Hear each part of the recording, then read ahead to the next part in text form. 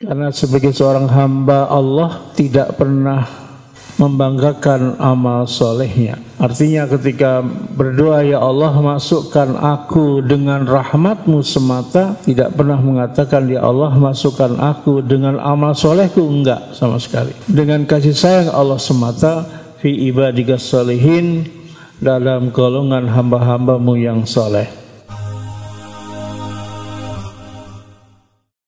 Bismillahirrahmanirrahim. Assalamualaikum warahmatullahi wabarakatuh. Alhamdulillah Alhamdulillahirabbil alamin. Wassalatu wassalamu ala sayyidil mursalin sayyidina maulana Muhammadin wa ala alihi washabbihi ajmain. Amma ba'du. Para hadirin sekalian Bapak yang kami hormati Ibu yang kami hormati Al-Qur'an yang kita imani kita baca dan kita amalkan menjelaskan satu hal dalam Al-Quran yaitu berkaitan dengan seorang nabi, nabi yang mendapatkan nubuah wahyu dari Allah dan sekaligus juga seorang yang diberi Allah kekuasaan duniawiyah yaitu sebagai raja yang kita kenal dengan Nabi Sulaiman alaihissalam putra dari Nabi Daud alaihissalam.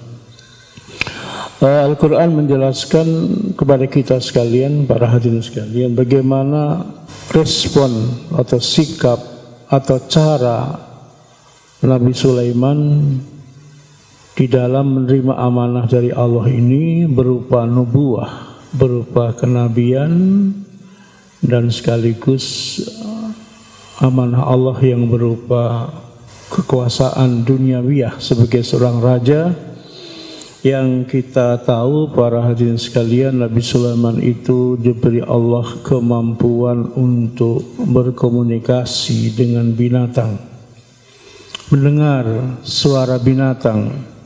Sehingga ketika Nabi Sulaiman dengan para tentaranya itu melewati suatu jalan kemudian tentara semut itu binatang semut itu memberikan warning kepada kepada saudara-saudaranya agar hati-hati. Hati-hati jangan sampai kamu diinjak oleh Nabi Sulaiman dengan tentaranya itu. Layah temannakum Sulaiman wa junuduh wa hum layas urun. Jangan sampai dia perintahkan kepada saudara-saudaranya segera masuk ke sarangmu. Jangan sampai Nabi Sulaiman dengan tentara itu menginjak kamu. Itu ya menghancurkan kamu sedangkan mereka tidak sadar telah menghancurkan makhluk yang kecil itu. Maka Nabi Sulaiman kemudian tersenyum karena mendengar ucapan semut. Kemudian berdoa doa yang sering kita baca. Rabbi ini an ashkura ni'mataka allati an'amta alayya wa na'mal salihan tardah wa adkhilni bi rahmatika fi ibadikas salihin. Itu doa Nabi Sulaiman dalam Quran ya Allah auzi'ni berikanlah kepadaku ilham. Berikanlah kepadaku senantiasa keberikan kepadaku ilham petunjuk agar selalu bersyukur kepadamu atas kenikmatan yang telah engkau berikan kepadaku an'amta alayya allati an'amta alayya kenikmatan yang kau berikan kepadaku wa ala walidayya demikian juga kepada kedua orang tuaku. Kemudian wa amala salihan ya Allah berikanlah aku ilham petunjuk taufik agar bisa selalu beramal soleh berbuat yang baik tardahu yang senantiasa kau ridho dengan amal soleh ini kau terima dengan amal solehku. Wa adkhilni bi rahmatika fi ibadika salihin. Ya Allah masukkan aku masukkan aku bi rahmatika dengan rahmatmu semata. Gitu ya. Dengan kasih sayangmu semata Jadi kalau kita mohon kepada Allah, ya Allah adkhilni birahmatika atau adkhilna, masukkan kami dan keluarga kami, keluarga besar Unisula ini birahmatika, yaitu semata-mata dengan rahmatmu. Hadirin sekalian, kenapa begitu? Karena sebagai seorang hamba Allah tidak pernah membanggakan amal solehnya. Tidak pernah membanggakan amal solehnya. Artinya ketika berdoa ya Allah masukkan aku dengan rahmatmu semata tidak pernah mengatakan ya Allah masukkan aku dengan amal solehku. Enggak sama sekali. Dengan kasih sayang Allah semata fi ibadikas salihin dalam golongan hamba-hambamu yang soleh ini penggal pertama hadirin sekalian. Kemudian yang kedua yang berkaitan dengan raja seorang ratu Bulkis yang diketahui oleh salah seorang uh, rakyat Nabi Sulaiman yaitu seekor burung hudhud. Beliau mengatakan, wahai Nabi Sulaiman, ini wajadtum ra'atan tamlikuhum wa utiyat min kulli syai'in walaha arsun azim Wahai Nabi Sulaiman, aku mendapati seorang wanita sebagai raja, sebagai ratu, dan mendapat diberi segala sesuatu dalam kerajaan itu. Ya.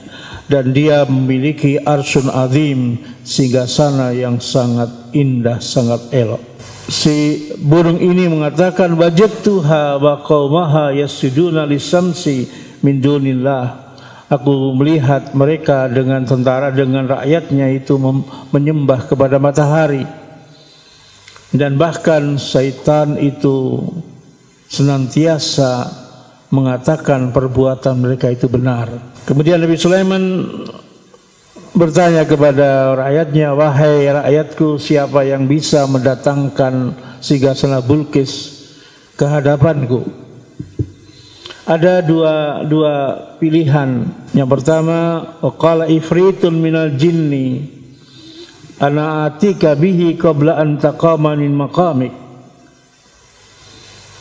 Wahai Nabi Sulaiman, kata ifrit itu jin, makhluk jin ifrit minal jinni dia mengatakan aku bisa aku sanggup mendatangkan apa itu singgasananya Ratu Bilqis sebelum kamu berdiri dari tempat dudukmu. Ya, bayangkan itu ya.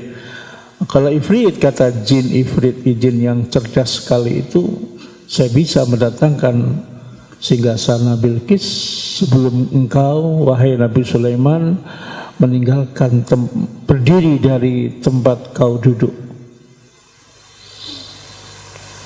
Yang kedua hadirin sekalian waqala alladhi indahu ilmun minal kitab kata rakyat yang kedua yaitu seseorang yang diberi Allah pengetahuan tentang kitab ada yang mengatakan orang ini orang soleh yang memiliki Ismul Azam, nama Allah yang agung. Diberi Allah untuk membaca Ismul Azam. Dia mengatakan, Anak atika bihi, aku sanggup mendatangkan kursi kebesaran Ratu Bilqis.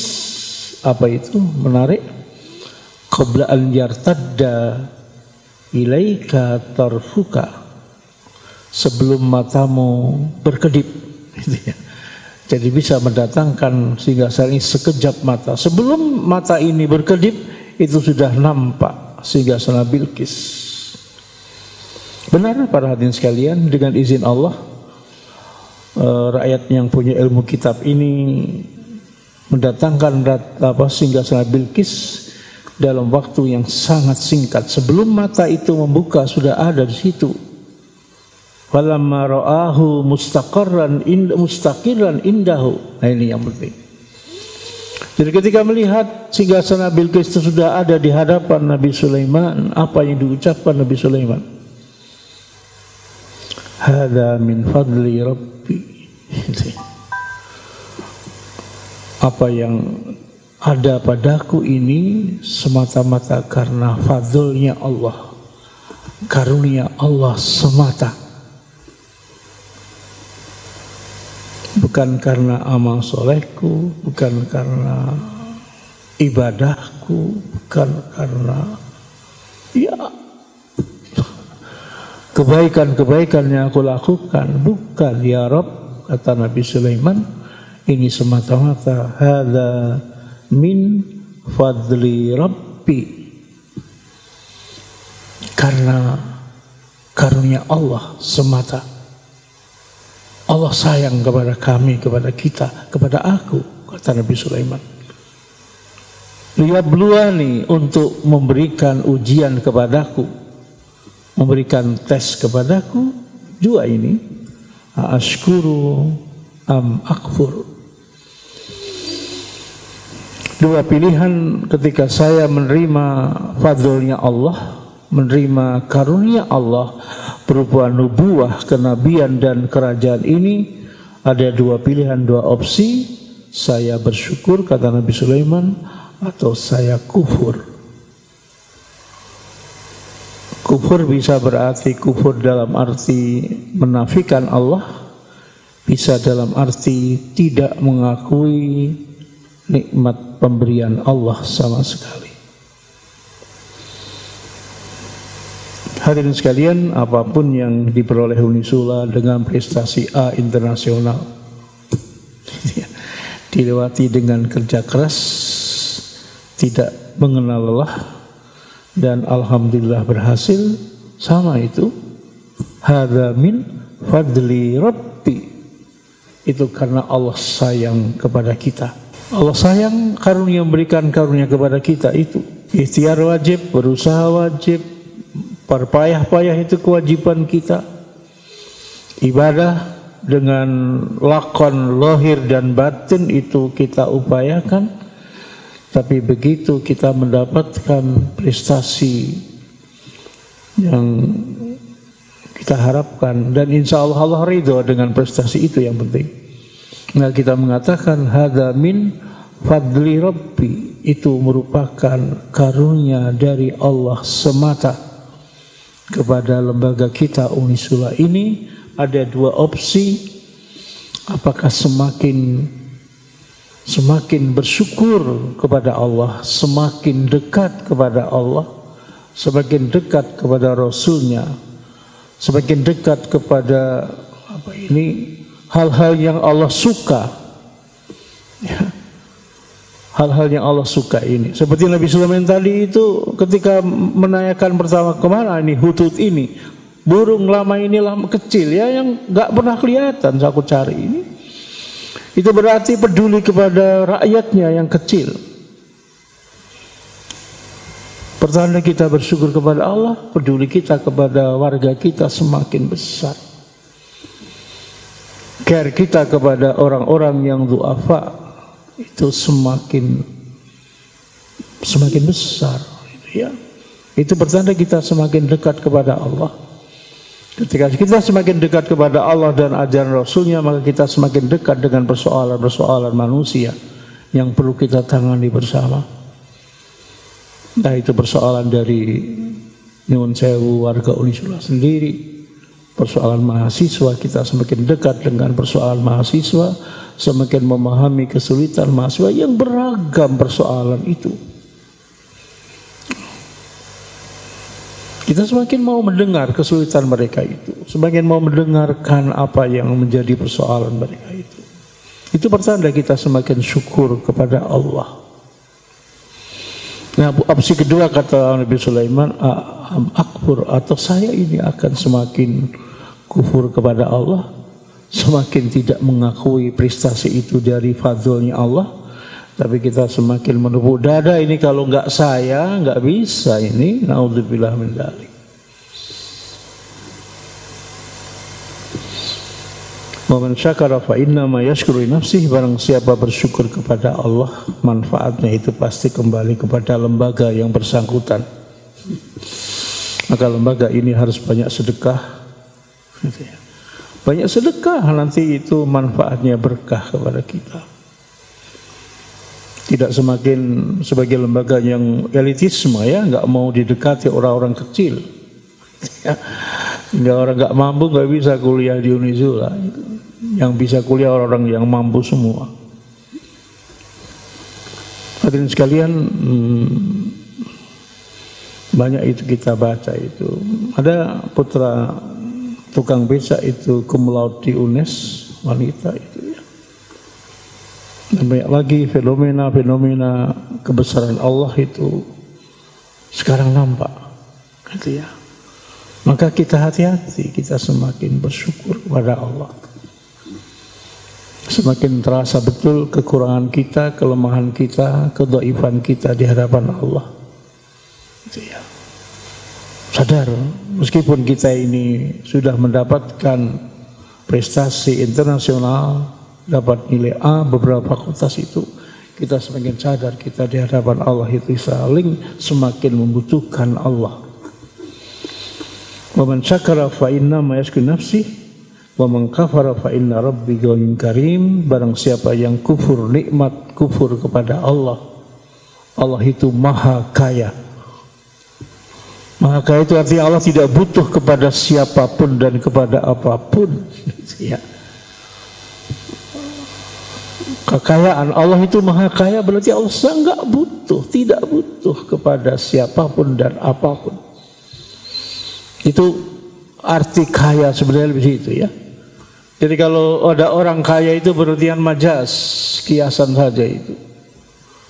Dia masih butuh kepada yang lain. Fa inna rabbi sesungguhnya Allah Tuhanku itu ghaniyun maha kaya dan maha mulia. Mudah-mudahan Allah selalu memberikan kepada kita kekayaan yang sebenarnya itu apa? kalau kita merasa kaya karena punya Allah. Di YouTube itu ada seorang kori Mesir yang sedang sering tampil itu Dr. Muhammad Sahabi dia punya doa begini. Ya Rabbana la tu'alik kulubana bi ahadi bi haldi khalqika siwa kaya Allah. Kamu jangan jangan kau ikatkan hati kami dan kau ikatkan hati kami kepada satu makhluk pun selain engkau. Selain engkau. Jadi jangan sampai hati kita terikat kepada selain Allah Ya kasih man wa ya wasil wahai yang yang banyak pemberiannya, banyak karunia-Nya dan mahal luas pemberiannya.